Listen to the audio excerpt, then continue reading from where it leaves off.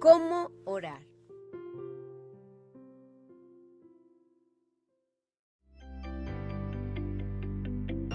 Una niñita dijo a su papá, Yo deseo que tú de mi parte le digas algo a Dios, algo que ardientemente le deseo decir. Mi voz es tan débil que seguramente Él no me podrá oír allá en el cielo. Pero tú tienes una voz tan fuerte, una voz de hombre grande y seguramente a ti te voy a Además, no sé orar con palabras tan bonitas y extrañas como lo hacen los pastores.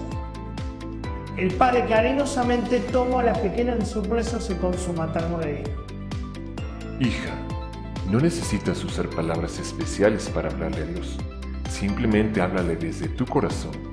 Y aunque Dios estuviese rodeado de todos sus santos ángeles y estos estuvieran cantando uno de sus más bellos y dulces cantos que jamás se hubiesen entonado en el cielo, Él les diría así, silencio. Hay una niñita que desea susurrarme algo al oído. Veamos 10 principios que enseñó Jesús para que aprendamos a orar correctamente. Primero, al orar no debemos ser como los hipócritas. Mateo 6:5. Cuando oren, no sean como los hipócritas, porque a ellos les encanta orar de pie en las sinagogas y en las esquinas de las plazas para que la gente los vea. Les aseguro que ya han obtenido toda su recompensa. Hipócrita es aquel que finge cualidades o sentimientos que no tiene. Hipócrita también significa fingido, falso. Hipócrita es aquel que deliberadamente y como hábito pretende aparentar y finge ser bueno cuando sabe que no lo es. La palabra hipócrita también significa acto teatral. Jesucristo dijo, como es un hipócrita y eso nos sirve como guía para saber cómo orar. Jesucristo condenó fuertemente la hipocresía en los líderes religiosos de su época.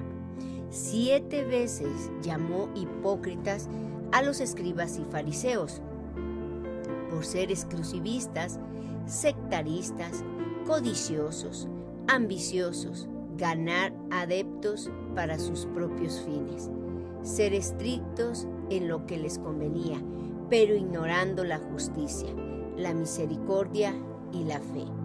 En sí, eran hipócritas porque se mostraban justos y limpios ante los hombres, pero por dentro estaban llenos de robo, injusticia e iniquidad.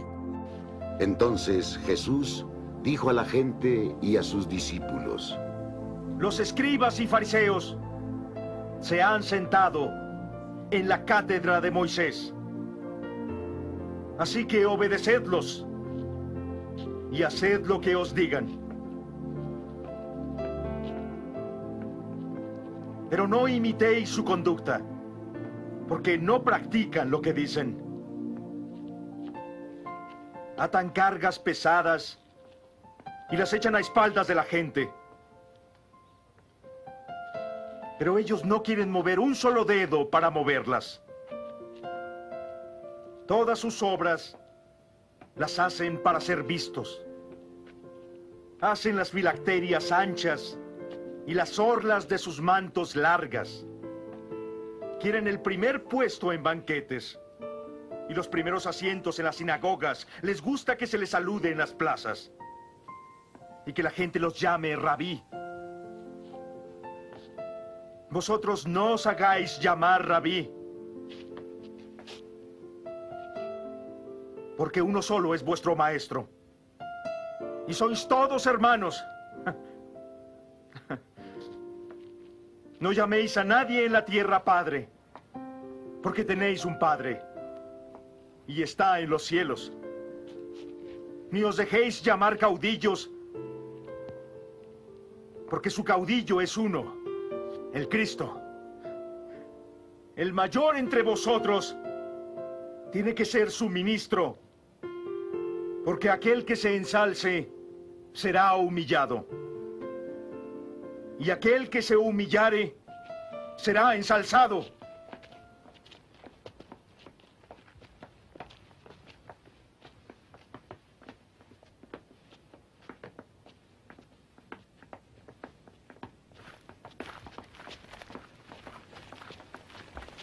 ¡Ay de vosotros, escribas y fariseos hipócritas!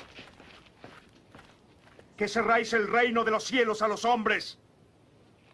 Vosotros no entráis y a los que están entrando no les dejáis entrar. ¡Ay de vosotros, escribas y fariseos hipócritas!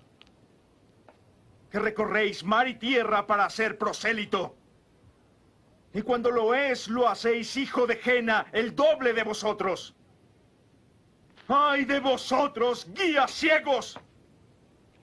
Decid que si uno jura por el templo, eso no es nada. Mas si alguien jura por el oro del templo, queda obligado al jurar. ¡Insensatos ciegos! ¿Qué es más grande?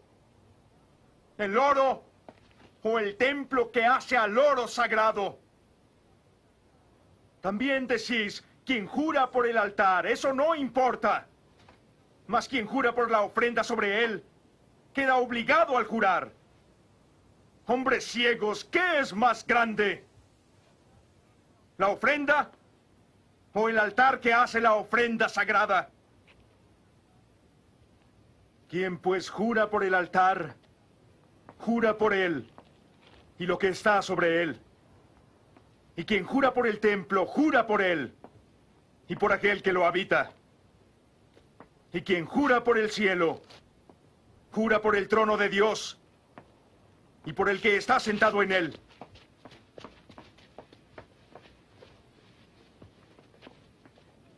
¡Ay de vosotros! ¡De vosotros, escribas y fariseos! ¡Oh, hipócritas! Pagáis el diezmo de las especias, menta, eneldo y comino. Y descuidáis los asuntos más importantes de la ley. Justicia, misericordia y también la fe. Esto es lo que había que practicar, sin descuidar aquello.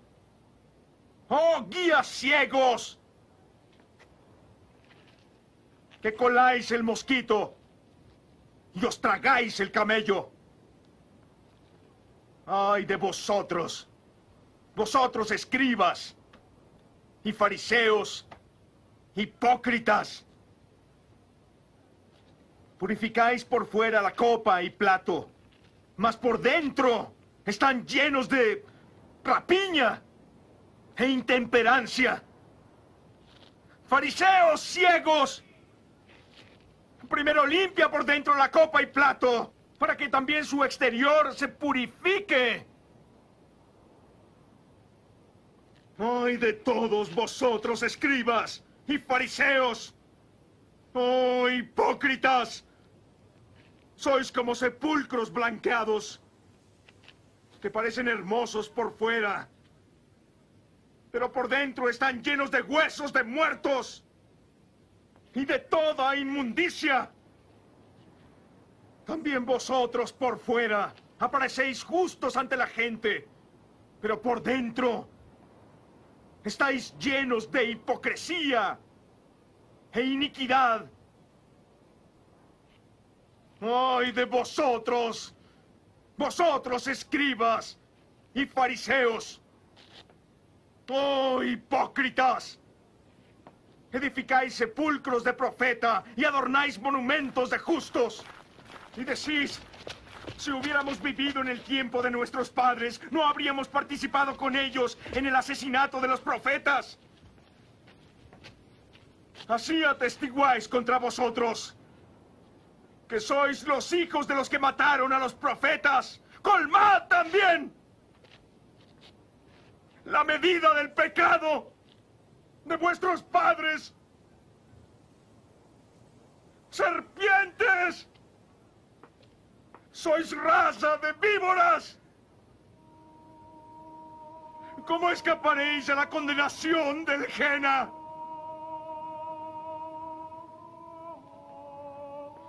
Por eso, yo os envío profetas y sabios y escribas. A unos los mataréis y crucificaréis. A otros azotaréis en vuestras sinagogas y perseguiréis de ciudad en ciudad. Para que sobre vosotros caiga la sangre inocente derramada sobre la tierra, desde la del justo Abel hasta la sangre de Zacarías, hijo de Baraquías, a quien vosotros asesinasteis entre el templo y el altar. Y en verdad os digo, todo esto recaerá sobre esta generación.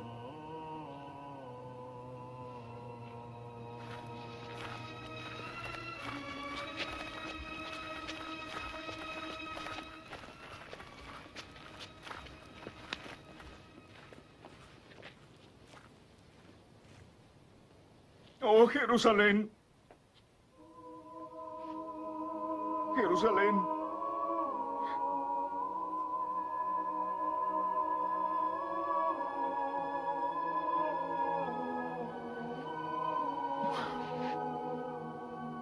Que mata a profetas y apedrea a los que le son enviados. ¿Cuántas veces he querido He querido reunir a tus hijos como pollos bajo las alas de la gallina, pero no habéis querido. Mirad. Vuestra casa os quedará desierta. Porque os digo, no me volveréis a ver hasta que digáis bendito el que viene en nombre del Señor.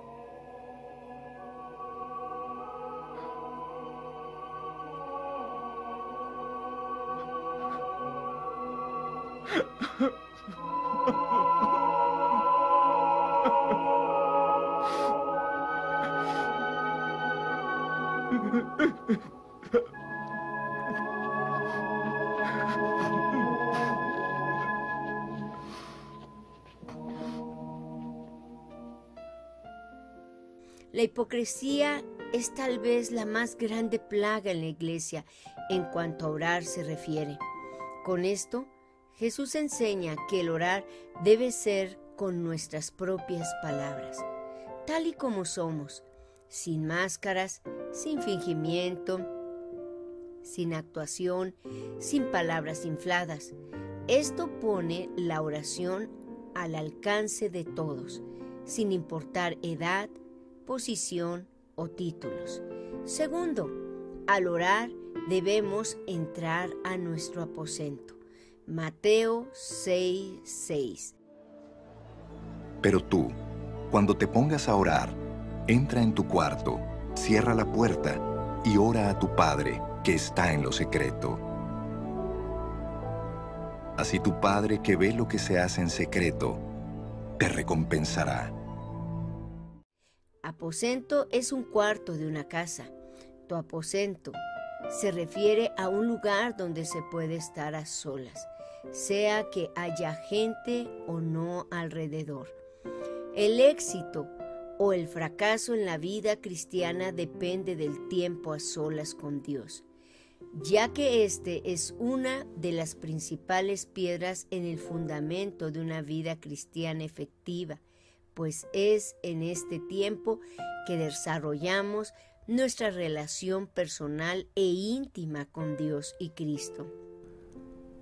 La Biblia dice, despedida la multitud, subió al monte a orar aparte y cuando llegó la noche estaba allí solo. Quizás alguien diga, bueno, por lo general oro con alguien. Escúcheme bien. Debe hacerse tan amigo de Dios que no necesite a nadie con quien orar. Ahora, Está bien tener a alguien con quien orar y tener un compañero de oración es maravilloso, pero usted y Dios deben ser tan amigos que no necesite a nadie más. Dios le mostrará qué hacer. Alguien dirá estoy orando, pero le preguntaré a mi amigo, pues todos tenemos amigos. Pero su Padre Celestial le ama tanto y está tan comprometido con usted que dice, pedid y se os dará. Buscad y hallaréis, llamad y se os abrirá. El lugar más valioso en su hogar es su lugar de encuentro con el Señor. Ese es el tiempo más valioso que emplea o invierte, y eso es una inversión de su tiempo cuando usted y el Padre están juntos. Quedará admirado con lo que Dios le dirá, con lo que hará en su vida, y se sorprenderá de cómo ese lugar se convierte en lugar más valioso en su hogar. Tercero, al orar debemos cerrar la puerta. Mateo 6:6. Pero tú, cuando te pongas a orar, entra en tu cuarto, cierra la puerta y ora a tu Padre que está en lo secreto. Así tu Padre que ve lo que se hace en secreto, te recompensará. Cerrar la puerta significa que no permitamos interrupciones de ningún tipo. Equivale a cuando los directivos de una empresa o las autoridades cierran la puerta cuando hacen sus juntas. La reunión con Dios es la junta más importante que podamos tener. Cuarto, al orar debemos dirigirnos al Padre. Mateo 6:6 y Juan 14:13. Pero tú, cuando te pongas a orar, entra en tu cuarto, cierra la puerta y ora a tu Padre que está en lo secreto. Así tu Padre que ve lo que se hace en secreto, te recompensará. Cualquier cosa que ustedes pidan en mi nombre, yo la haré. Así será glorificado el Padre en el Hijo. Lo que pidan en mi nombre, yo lo haré. ¿Quiénes están involucrados en la oración? La oración es la entrada al mundo espiritual, al mundo invisible, a lo sobrenatural. Algunos tienen la falsa idea de que cuando oramos estamos eh, elevando y enviando nuestras oraciones y peticiones al cielo, al trono de Dios. Y cuando no sienten ninguna emoción, piensan que sus oraciones no llegan ni siquiera al techo de su casa. Como si la petición fuera un objeto proyectil que se debe lanzar con mucha fuerza para que llegue muy alto. Pero, ¿qué tan alto? Esta idea, además de absurda, no es bíblica. El Espíritu Santo claramente revela que desde que recibimos a Jesús, el Padre, el Hijo y el Espíritu Santo vienen a morar dentro de nosotros. Entonces, no depende de la fuerza de nuestra voz o de lo que sintamos, el que nuestras oraciones lleguen al cielo y Dios nos oiga, porque el Dios del cielo vive dentro de nosotros, conoce nuestros pensamientos, nuestras intenciones, de nuestro corazón, nuestros más íntimos secretos y aún la palabra no está en nuestra boca y Él ya la sabe. Entonces, cada vez que incluso hablamos a Dios en nuestra mente, Él escucha y nos atiende. Pero, ¿y si está ocupado? Algo que no podemos entender con nuestra mente, pero que está demostrado y probado científicamente es que si una persona pudiera viajar a la velocidad de la luz, el tiempo se volvería literalmente cero y podría estar al mismo tiempo en cada metro cuadrado del planeta Tierra y habla con cada ser humano simultáneamente. Eso es lo que la Biblia denomina que Dios es omnipresente, que está en todo lugar al mismo tiempo y es lógico que así sea científicamente, porque Dios no viaja a la velocidad de la luz, Él es la luz y por eso para Él no hay tiempo ni espacio. El Espíritu Santo revela también en los Evangelios y Apocalipsis que por medio de Jesús tenemos acceso directo e inmediato al trono de Dios, que es el trono de la gracia. Cuando empezamos a orar, no es que nuestras oraciones viajan al cielo, sino que de alguna manera se abre, por decirlo así, un portal o una puerta como lo llama Apocalipsis, donde al instante estamos delante del trono de Dios. Jesús dijo que desde que Él vino y hasta ahora, dice, el cielo está abierto y ángeles de Dios suben y descienden por medio de Él. Entonces, cada vez que oramos, tenemos acceso al cielo, al trono de Dios, y eso significa que cuando oramos, están involucrados, miren, el Padre, que es a quien debemos dirigir nuestras oraciones. Jesús, que es el nombre en el cual debemos orar al Padre. El Espíritu Santo, que es el medio por el cual nos relacionamos con el Padre y el Hijo, pues oramos en Él y por medio de Él. Los ángeles de Dios pues rodean el trono de Dios y lo adoran y son los ejecutores de su voluntad y los enviados a dar respuesta y hacer efectiva nuestras oraciones. Los demonios que habitan en las regiones celestiales y cuyo trabajo es estorbarnos y obstaculizarnos para que no oremos. Qué maravillosa es la oración, ¿no creen? Por eso es tan atacada por las tinieblas. Alguien dijo una vez muy acertadamente, pero tiembla. Eh, eh, miren, Satanás se ríe de nuestros esfuerzos, se burla de nuestra prudencia, pero tiembla cuando oramos. Qué privilegio tan hermoso tenemos de orar.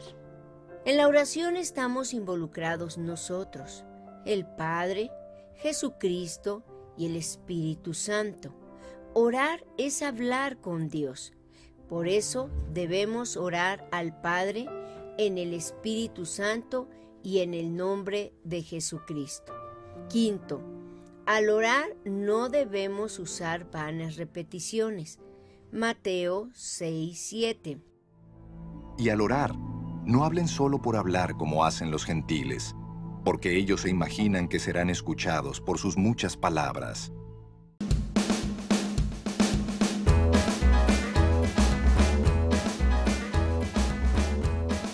Oh, amadísimo Padre, ¿Eh? tú que todo lo gobiernas desde tu sabiduría y tu poder, ¿Mm? acudo a tu infinita misericordia, a tu gracia inmerecida, y humildemente me pongo ante ti para rogarte que atiendas mi humilde petición. Es solo el deseo de mi corazón ansioso, pero vengo ante ti porque tú suples todas mis cosas. Y el deseo de mi corazón no te es oculto.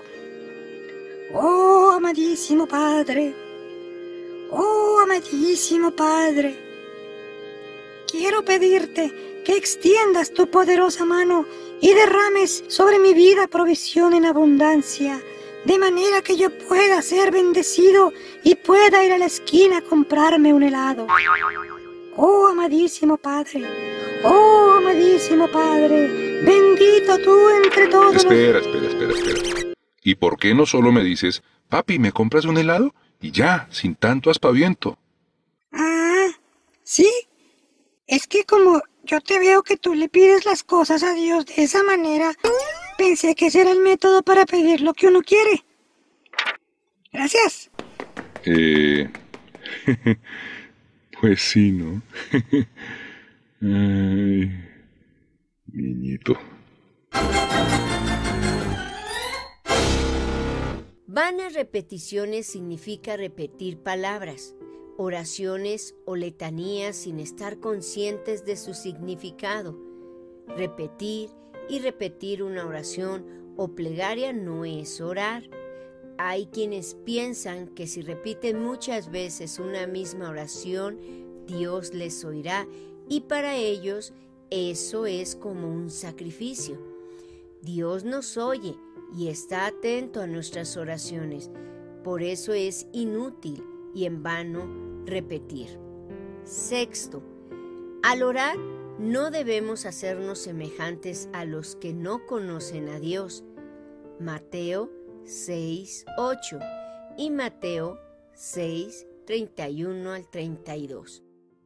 No sean como ellos, porque su Padre sabe lo que ustedes necesitan antes de que se lo pidan. Así que no se preocupen diciendo, ¿qué comeremos? ¿O qué beberemos? ¿O con qué nos vestiremos? Los paganos andan tras todas estas cosas, pero el Padre Celestial sabe que ustedes las necesitan. Hay muchas razones para orar, pero por sobre todo, el propósito principal es el de glorificar a Dios. La oración no es un túnel de escape para sacarnos de las dificultades o hacernos fácil la vida. El propósito es glorificar a Dios, no importa cuál sea el precio a pagar. La oración debe ser un hábito para tener amistad íntima con Dios. Séptimo, al orar debemos usar el modelo que enseñó Jesucristo. Mateo 6, 9 al 13. Ustedes deben orar así. Padre nuestro que estás en el cielo, santificado sea tu nombre. Venga tu reino. Hágase tu voluntad en la tierra como en el cielo. Danos hoy nuestro pan cotidiano. Perdónanos nuestras deudas, como también nosotros hemos perdonado a nuestros deudores. Y no nos dejes caer en tentación, sino líbranos del maligno si no debemos usar vanas repeticiones al orar, ¿por qué Jesús enseñó el Padre Nuestro? Jesús claramente mandó y orando no usen vanas repeticiones como los gentiles, que son, se refiere ahí a los que no conocen a Dios. La palabra en griego es interesante, para vanas repeticiones es batologeo que literalmente significa balbucear, tartamudear.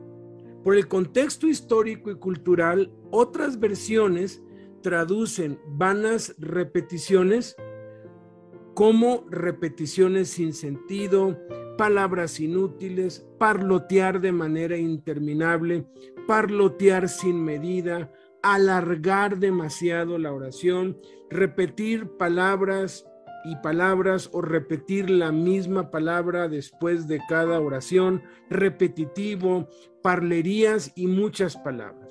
El balbuceo, que es la eh, es el significado principal de vanas repeticiones en griego, es propio de los bebés empiezan a repetir todo lo que oyen aunque no lo entienden y obviamente tampoco lo pronuncian correctamente porque están aprendiendo a hablar y sus cuerdas vocales apenas se están desarrollando.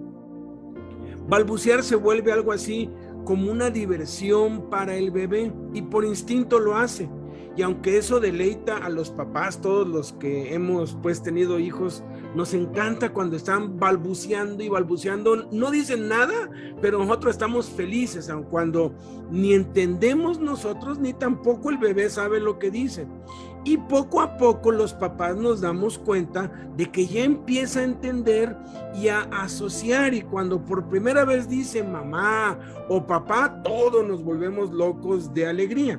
Es entonces cuando les empezamos a enseñar a los bebés a asociar palabras con cosas mediante juguetes, canciones, sonajas, juegos y se les pide que lo repitan. Leche, agua, mamila, vaso. Y el bebé repite eso, aunque de manera chistosa, ¿verdad? Eche, a mía. O sea, porque no puede todavía bien, pero poco a poco lo vamos repitiendo y lo vamos corrigiendo hasta que lo logra decir correctamente. Cuando alguien recién conoce a Cristo es normal que no sepa orar y tenemos que enseñarle a orar así como Jesús enseñó a sus discípulos y así como los papás enseñamos a los bebés, ya que orar es básicamente hablar con Dios. Entonces debemos empezar con lo más elemental y Jesús lo hizo así cuando enseñó el Padre Nuestro, que es lo más elemental, y les contó parábolas e ilustraciones al respecto. Está demostrado científicamente que los seres humanos aprendemos a hablar escuchando.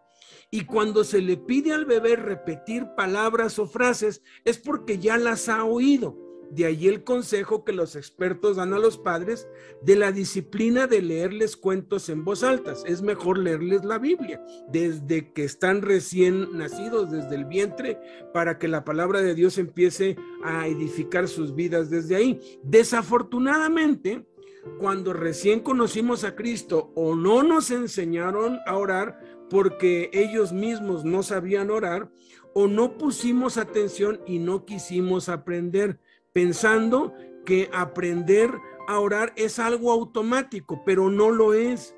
Y es la causa por la que al orar hacemos vanas repeticiones y simplemente imitamos a otros.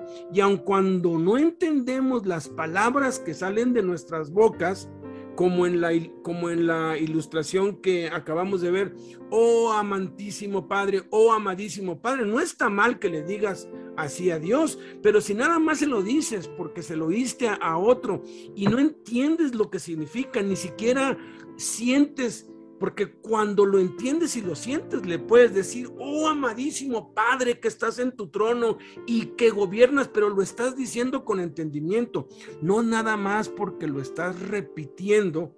Y como se siente bonito, así como a los bebés les agrada balbucear, lo seguimos haciendo, pensando que es la manera correcta, pero no es correcto, debemos aprender y Jesús es el único camino y verdad para aprender a orar.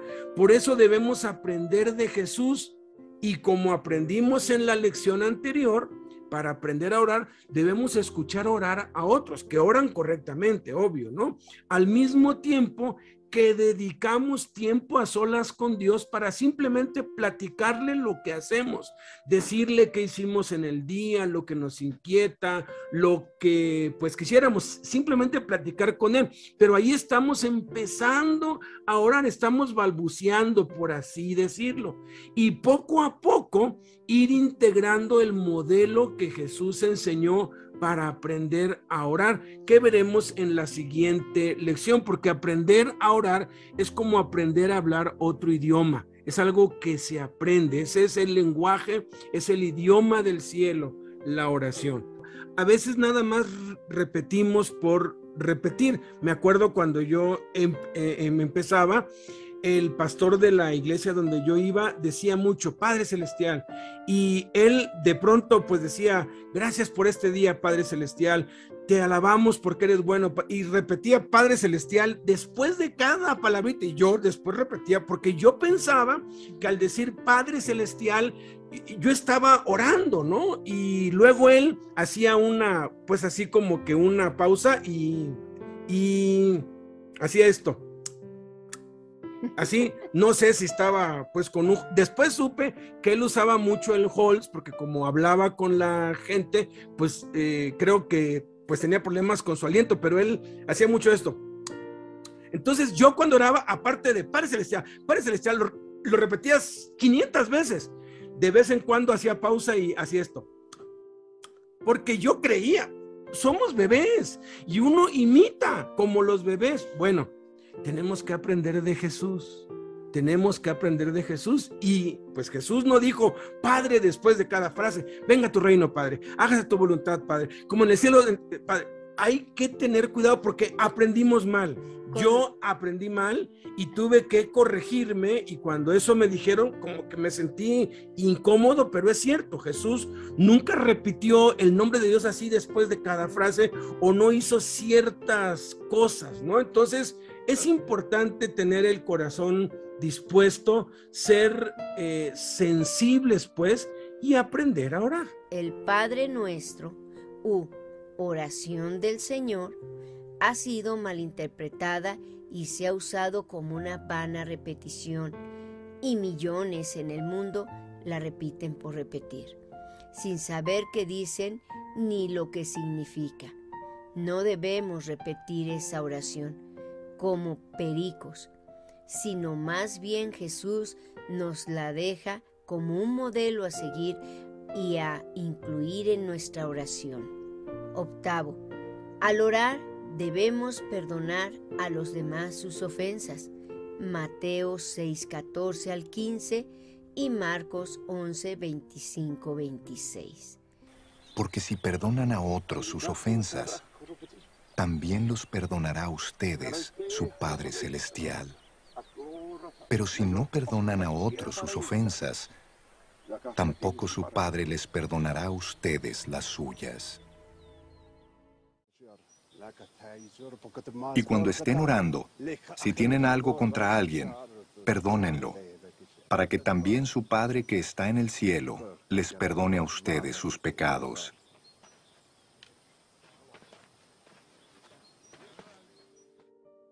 ¿Qué significa que si no perdono, Dios no me perdonará? Esta es una verdad y declaración de Jesús muy dura y severa. Si nosotros no perdonamos, tampoco el Padre nos perdonará. Y pareciera que el perdón de Dios está condicionado a que nosotros perdonemos.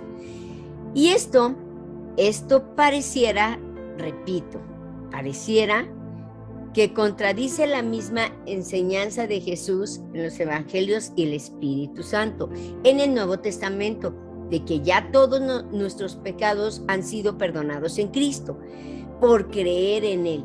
Y sobre esa verdad, la mayoría de los eruditos dicen que no aplica a nosotros, porque Jesús aún no había muerto en la cruz. Y esa afirmación no es correcta invalidando con eso todas las veces que Jesús perdonó pecados antes de ir a la cruz e ignorando la maravillosa verdad de que Jesús es el Cordero que fue inmolado desde antes de la fundación del mundo. Durante siglos, muchos teólogos y eruditos han puesto en tela de juicio esta afirmación de Jesús y algunos han llegado a decir que eso solo se lo dijo a los judíos, pero no aplica para nosotros los gentiles. Y otros, que es un error eh, de traducción. Y hay hasta quienes sugieren que Jesús se equivocó al decir esto. Todas esas interpretaciones son totalmente absurdas y erróneas con base a la revelación del Espíritu Santo en todas las sagradas escrituras.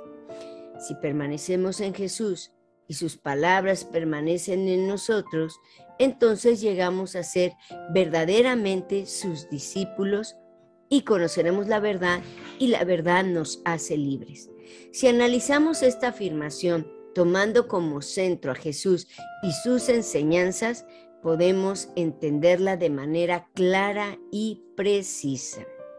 Jesús fue inmolado, destinado para el sacrificio desde antes de la fundación del mundo, y en el libro de la vida Dios escribió los nombres de todos aquellos que íbamos a creer en Jesús, que seríamos salvos y que nuestros pecados serían perdonados, aún antes de que existiéramos, antes de la creación de los cielos y la tierra. Cuando Jesús vino y murió en la cruz, simplemente completó lo que ya se había destinado. Por eso dijo, consumado es. Jesús hizo realidad al morir en la cruz lo que ya se había determinado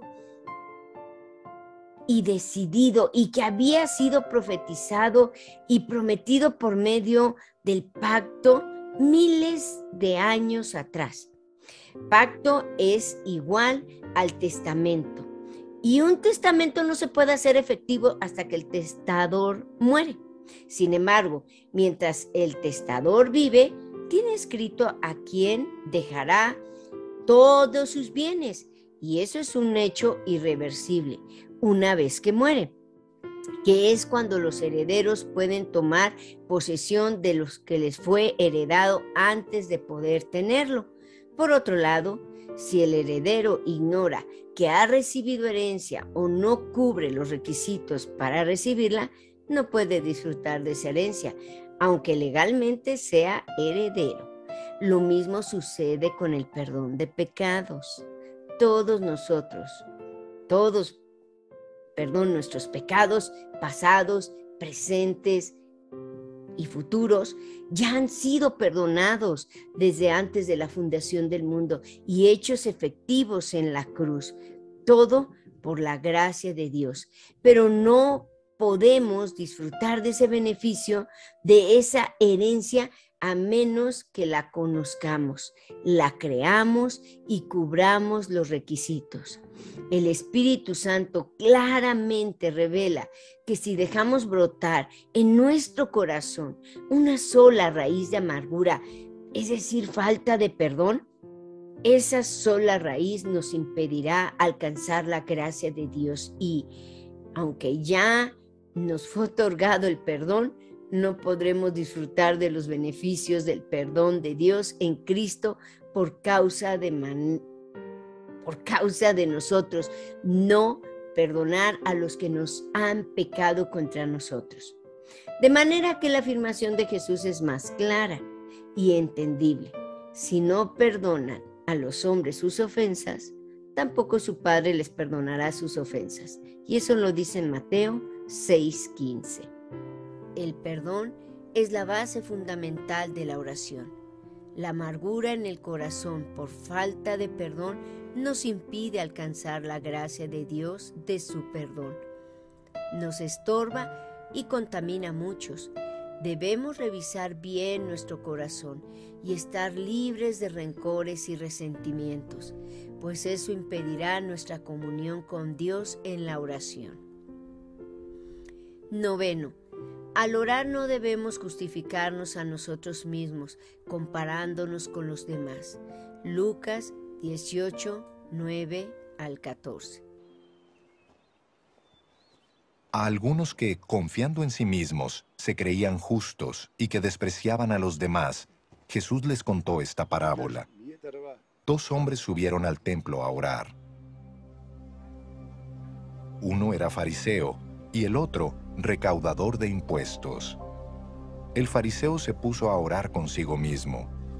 Oh Dios, te doy gracias porque no soy como otros hombres, ladrones, malhechores, adúlteros, ni mucho menos como ese recaudador de impuestos.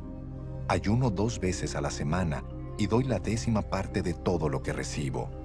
En cambio, el recaudador de impuestos, que se había quedado a cierta distancia, ni siquiera se atrevía a alzar la vista al cielo, sino que se golpeaba el pecho y decía, Oh Dios, ten compasión de mí que soy pecador. Les digo que este, y no aquel, volvió a su casa justificado ante Dios pues todo el que a sí mismo se enaltece será humillado, y el que se humilla será enaltecido. Normalmente, después de orar, se siente un bienestar tan hermoso que corremos el riesgo de pensar que somos mejores que otros. Al orar, recordemos que el que se enaltece será humillado y que Dios resiste a los soberbios y da gracia a los humildes. Décimo, al orar debemos creer que tendremos respuesta. Marcos 11:24. Por eso les digo, crean que ya han recibido todo lo que estén pidiendo en oración y lo obtendrán. ¿Por qué es esencial la fe al orar? La respuesta a esta pregunta está en Hebreos 11:6, donde el Espíritu Santo dice que sin fe es imposible agradar a Dios, porque es necesario que el que cree, que el que se acerca a Dios y nos acercamos a Dios por medio de la oración, crea que le hay y que es galardonador de los que le buscan. La Biblia Dios habla hoy, la versión de la Biblia Dios habla hoy, traduce este texto así pero no es posible agradar a Dios sin tener fe, porque para acercarse a Dios uno tiene que creer que existe y que recompensa a los que le buscan, como aquí, aquí ya tomo un poquito más de sentido. La palabra de Dios para todos, la versión de la Biblia, la palabra de Dios para todos, lo traduce así, nadie puede agradar a Dios si no tiene fe cualquiera que se acerque a Dios, y repito, cuando oramos nos estamos acercando a Dios, debe creer que Dios existe y que premia. Fíjense, galardonar es recompensar, premiar a los que le buscan y obviamente buscamos a Dios en oración. La versión, la traducción al lenguaje actual dice, porque a Dios no le gusta que no confiemos en Él.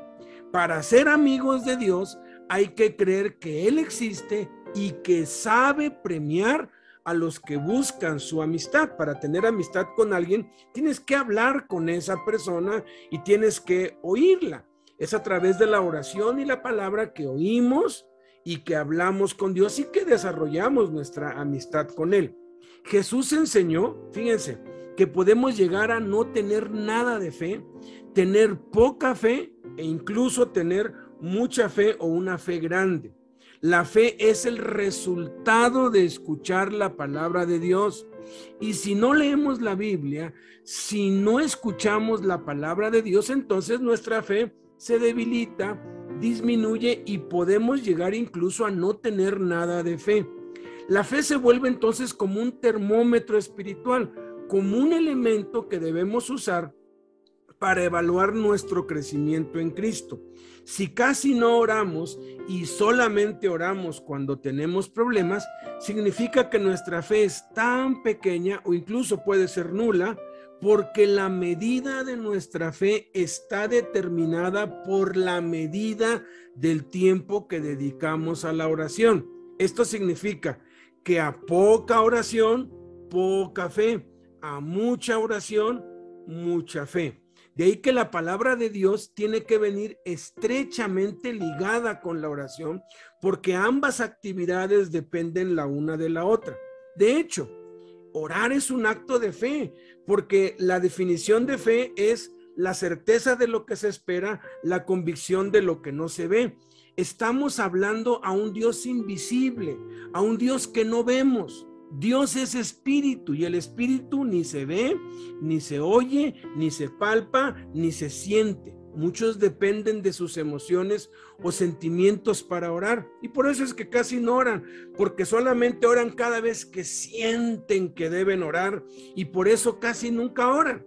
O cuando oran como sienten, como no sienten la presencia de Dios, como si fuera algo que se siente, Dios es espíritu y nos permite sentir emociones porque Dios sabe que somos emocionales, pero el justo vivirá por la fe. Cuando tú oras y no sientes nada, no quiere decir que no te está oyendo Dios, porque es por fe que debemos orar. Como una vez dijo Charles Spurgeon, el príncipe de los predicadores, si tienes ganas de orar, ora no desperdicies tan inmenso regalo que Dios te está concediendo. Si no tienes ganas de orar, ora. No vaya a ser que te quedes en tan miserable condición y arruines tu vida y de las y las de los que te rodean, porque eh, la clave del éxito o del fracaso en la vida, en la familia, en el trabajo, en todas las áreas, es el tiempo a solas con Dios. La oración produce resultados prácticos y tangibles. Oremos no por obligación o religiosidad, sino porque funciona.